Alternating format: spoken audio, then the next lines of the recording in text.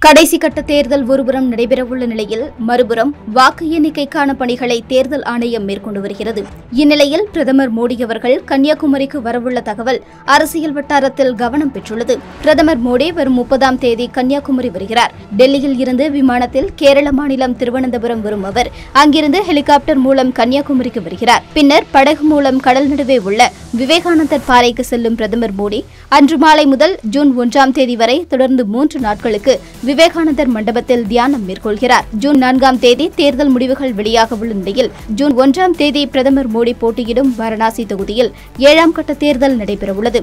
இத்தகைய சூழலில் பிரதமரின் வருகையை முன்னிட்டு கன்னியாகுமரியில் பாதுகாப்பு ஏற்பாடுகள் பலப்படுத்தப்பட்டுள்ளன. கடந்த இரண்டாயிரத்து பத்தொன்பது தேர்தலின் போது ஏழு கட்டமாக நடந்த தேர்தலின் கடைசி கட்ட வாக்குப்பதிவு மே பத்தொன்பதாம் தேதி நடைபெற்ற நிலையில் மே பதினேழாம் தேதியுடன் பிரச்சாரம் ஓய்ந்ததை அடுத்து பிரதமர் மோடி உத்தரகாண்ட் மாநிலம் கேதார்நாத் கோவிலுக்கு சென்று அங்குள்ள குகையில் பதினேழு மணி நேரம் தியானம் மேற்கொண்டது குறிப்பிடத்தக்கது.